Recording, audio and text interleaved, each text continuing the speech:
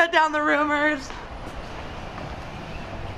Would you ever deny Selena a photo? Is it ridiculous? Hey fam, today we've got the hottest tea brewing in Hollywood. Kylie Jenner, Selena Gomez, and Timothy Chalamet caught in the middle of some juicy rumors. Yep, you heard it right. Buckle up, because we're about to spill the tea on what went down at the Golden Globes. So there's this viral clip of Selena chatting it up with Taylor Swift, and the rumor mill went into overdrive.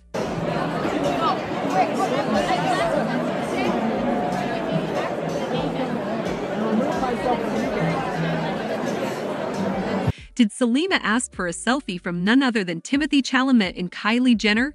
The plot thickens. TMZ caught up with Timothy and grilled him on the rumors. But guess what?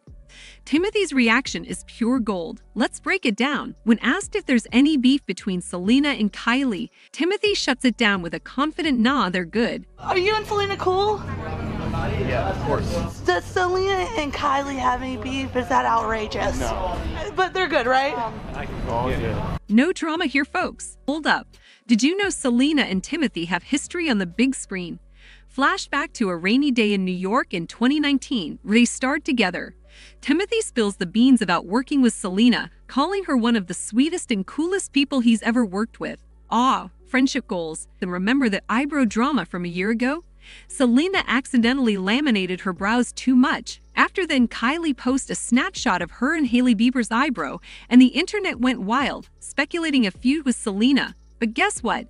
They squashed those rumors real quick, just like Timothy's doing now. Fast forward to today. Timothy and Kylie's romance is making headlines. They celebrated their first public outing with some major PDA, and we've got the receipts. Oh, and by the way, a source spills the tea that Kylie's support means the world to Timothy. They're each other's cheerleaders in every aspect of life. Can you say power couple? There you have it drama debunked, rumors squashed, and love in the air.